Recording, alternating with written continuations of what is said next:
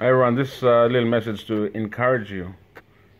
If you can save up, say, 100 kina a week, welcome lilik sales blue or welcome lilik uh, market money side, uh, selling boy or PK lo side, you can you can make you can make it.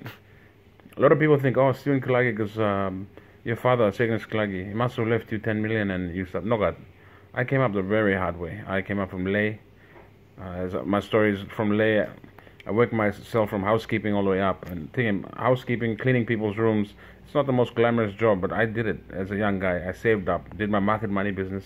Then I went to buying cars, selling cars. Then I went to all sorts of business to make money. And that's why I am today. Um, I'm still trying to make money. Um, I'm not the richest man in the world or in Papua New Guinea, but I'm quite successful because I, I still keep on going. And I still want to keep on going. And still uh, I'm my own boss and I still do the things I want to do on my own time. And that's what I, am trying to encourage a lot of people, young Papua New Guineans who are working uh, 8 to 5. You can't get out of that, um, I call it get out of Egypt. You're current, currently in Egypt right now and you need to get out. You're just too comfortable. So you, you need to get out, get out of your comfort zone. Uh, do things that you're not comfortable doing, like selling boy. If you're a lawyer or a doctor, who cares? Your degree doesn't mean anything when you die. So get outside, start selling boy. Do all the little things on the side. Uh, build a house, little rent room, whatever you have to do, do it. Stop wasting your time in nightclubs, playing pokies, all these other things.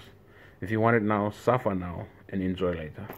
Um, I'm still working towards my retirement plan, and uh, that's what you all should be doing. Don't work a tedious job eight to five and be a slave. Uh, after your working hours, five to then what are you doing? If you've got lazy people at the house doing nothing, give them some money to sell, do sales to you. Do something, do anything. Uh, roll some personal income on the side every all the time, and that's how you're gonna make it.